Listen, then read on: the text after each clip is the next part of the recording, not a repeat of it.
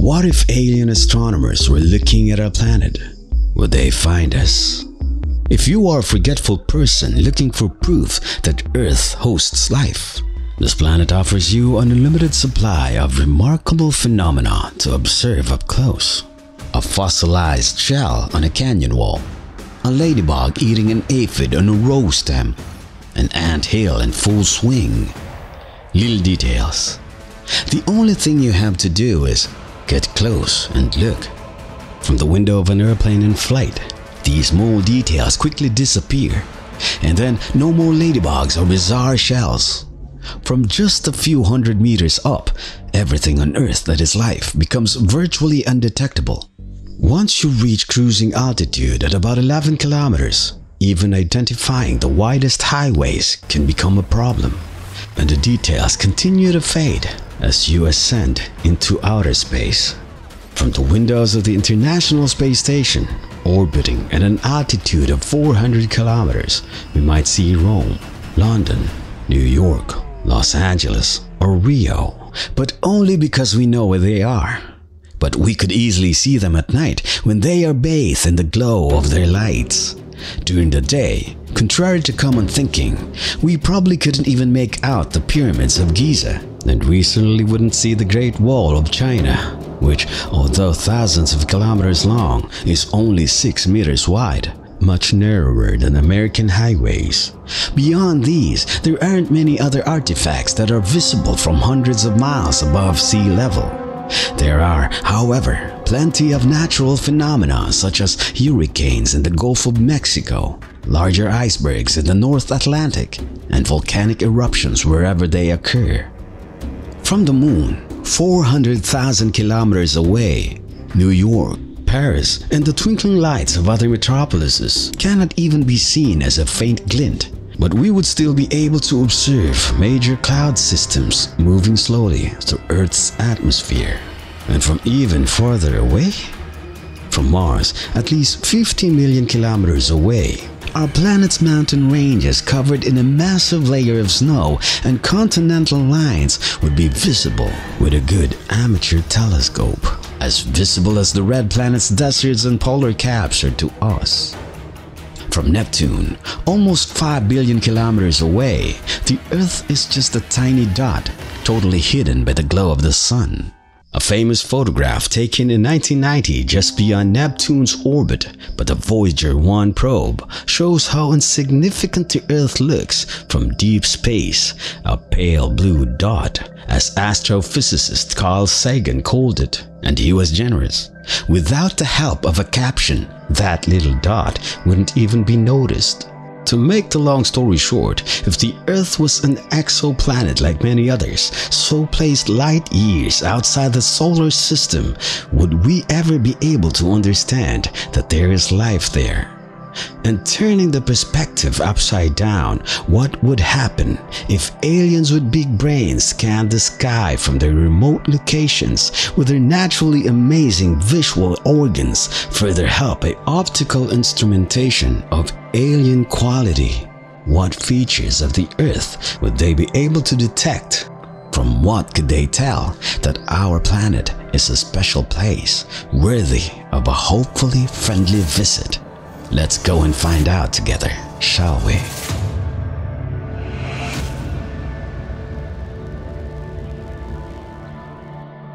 Of course, the color blue would be the first and most obvious feature. Water covers more than two thirds of the Earth's surface. The Pacific Ocean alone covers almost an entire half of the planet. Any being with the proper equipment and expertise to detect the color of our planet would certainly deduce the presence of water, the third most abundant molecule in the universe. If the resolution of their instruments were high enough, say a dozen times higher than what the James Webb telescope is about to give us, the aliens might see more than a pale blue dot. They would see jagged coastlines, a strong hint that water is in a liquid state. And intelligent aliens would surely know that if a planet contains liquid water, its temperature and atmospheric pressure values must perforce fall within a certain range. polar caps expanding and contracting due to seasonal temperature variations could also be detected with visible light.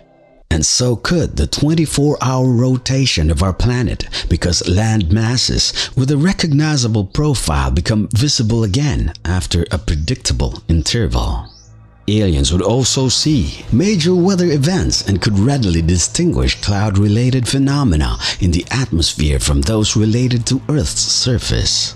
But come to think of it, Earth's brightness is one billionth that of the Sun, and our proximity to the Sun would make it extremely difficult for anyone to detect us directly with a visible light telescope.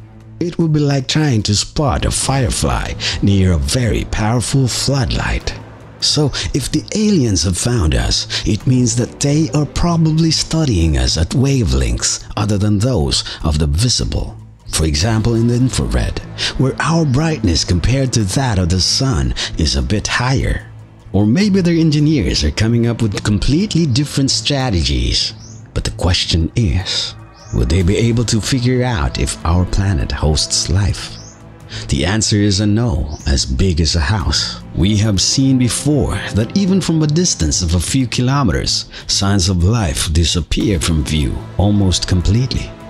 Even if aliens discover the existence of Earth, their optical telescopes would not be able to reveal anything about what actually happens on its surface, especially in the visible. There are, however, other wavelengths. Radio waves and microwaves, for example, might work if our listening aliens had something similar to or superior to China's 500 meter radio telescope, then they might notice that our civilization is one of the brightest radio sources in the sky. Try to consider everything that generates radio waves or microwaves. Not only traditional radios but also television broadcast mobile phones, microwave ovens, radio controls to open garages and cars, commercial radars, military radars, and telecommunications satellites. We glow with low frequency waves, irrefutable proof that something suspicious is happening in our parts since the small rocky planets in their natural state emit almost nothing in the radio frequencies. We've been sending radio signals into space for about a century some, such as television transmissions, are too weak to be easily identified from cosmic distances. But others, the transmission of concentrated radio waves emitted by powerful radar instruments, such as the no longer operational Arecibo, can be easily detected even at a distance of hundreds of light years. So if the aliens listening would turn the equivalent of our largest radio telescope towards us, they could deduce that on our planet there is technology. However, there is a complication. Other interpretations are possible. Perhaps they would not be able to distinguish Earth's signals from those of the major planets in our solar system. Also good sources of radio waves, especially Jupiter. Maybe they would think that we are a new kind of planet, strangely active in radio frequencies. Perhaps they could not distinguish terrestrial radio emissions from those of the Sun and would conclude that the Sun is a new type of star that emits intensely in the radio wave band. But intercepting radio waves isn't the only way to stick your nose into other people's business. There is also cosmochemistry, Chemical analysis of planetary atmosphere has become a vibrant area of research in modern astrophysics. As you might imagine, cosmochemistry is based on spectroscopy, which is the analysis of light by means of spectrometer. Using the tools and techniques of spectroscopist, cosmochemist can infer the presence of life on an exoplanet beyond whether the life is sentient, intelligent, or technological. The method works because each element, each molecule, wherever it is in the universe, absorbs, emits, reflects, and disperses light in a unique way. And when light from the planet's atmosphere reaches a spectrometer, it reveals chemical fingerprint-like characteristics. The most visible fingerprints are left by the chemical elements most excited by the pressure and temperature of the environment in which they are located. If you are here watching this video, it means you are passionately curious about human spaceflight and the mysteries of the universe. We constantly strive to make videos that excite a curious person like you. So subscribe now and be sure to press the bell notification. Planetary atmospheres are rich in these characteristics, and if a planet is teeming with flora and fauna, its atmosphere will be rich in biological markers, spectral evidence of the existence of life, whether biological, produced by any life form, anthropological, produced by the widespread species Homo sapiens, or technological, produced only by technology. Such glaring evidence would be hard to hide of course, unless we were born with spectroscopic sensors already pre-installed to detect our chemical fingerprints, aliens would have to have at their disposal highly sensitive spectrometers. But most of all, they would have to have the opportunity to observe the Earth as it transits in front of the Sun's disk so that they could receive the light that crossing its atmosphere could collect and carry with it all the necessary chemical information. In that way, the chemical elements of the Earth's atmosphere could interact with the light and leave their fingerprints visible to all. But how many of these exoplanets could be aligned with the Earth's orbital plane and thus able to host aliens observing our transits over the Sun? Taking into account a period of 10,000 years, 5,000 in the past and 5,000 in the future, Researchers have identified 2,034 star systems that could have been, could be today, or could be in the future in the right position to detect the Earth by the transit method.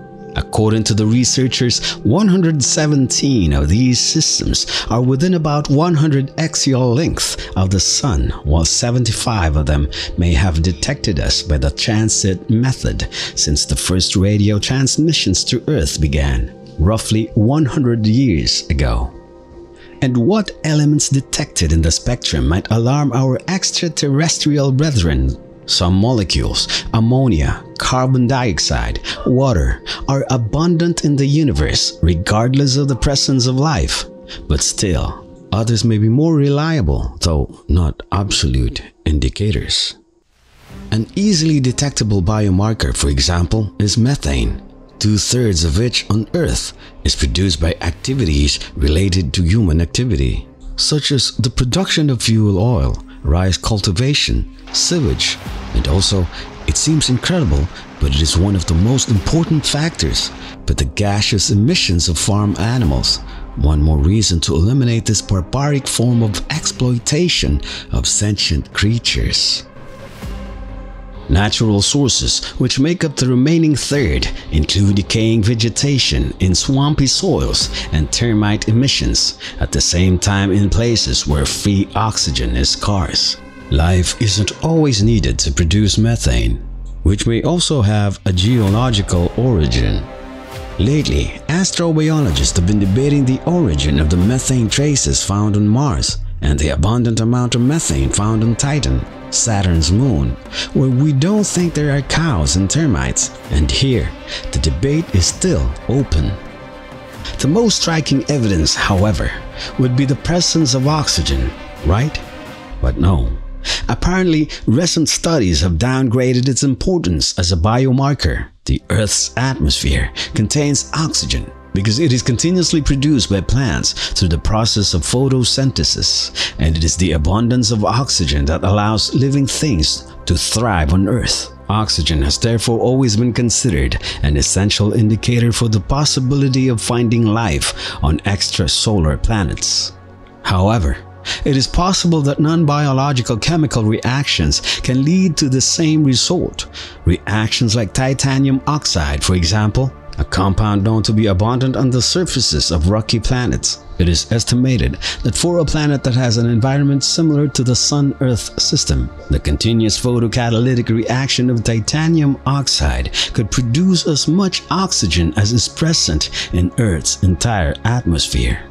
In other words, it is possible that a habitable extrasolar planet could maintain an atmosphere with an oxygen richness equal to Earth's, even in the absence of organisms capable of performing photosynthesis. But anyway, the clues to discover that on Earth turns intelligent life and technology would not lack really. Just to say one, if aliens would really keep an eye on us, at night they could notice an increase of sodium due to the massive use of sodium vapor street lamps that turn on at sunset in cities and suburbs. In addition, alien astronomers would look at our atmosphere's levels of nitrogen, carbon dioxide, nitrous oxide, and methane. Only life could keep Earth chemically off-kilter enough for all these gases to persist at once. However, Earth may not be so easy to demystify from an alien's perspective. Stars and planets are dynamic. Flares and storms are always happening on stars, which also vomit plasma and coronal mass ejections that could mess with how transiting planets are seen. Then there are the constantly changing seasons on planets that can also throw off observations. And of course, what we expect to see and find on an exoplanet is only a reflection of what is needed for life to flourish on Earth. No one, in fact, knows if there are things out there that survive by breathing poison when even a few bacteria on Earth can eat rocks and metabolize methane. You have to expect anything.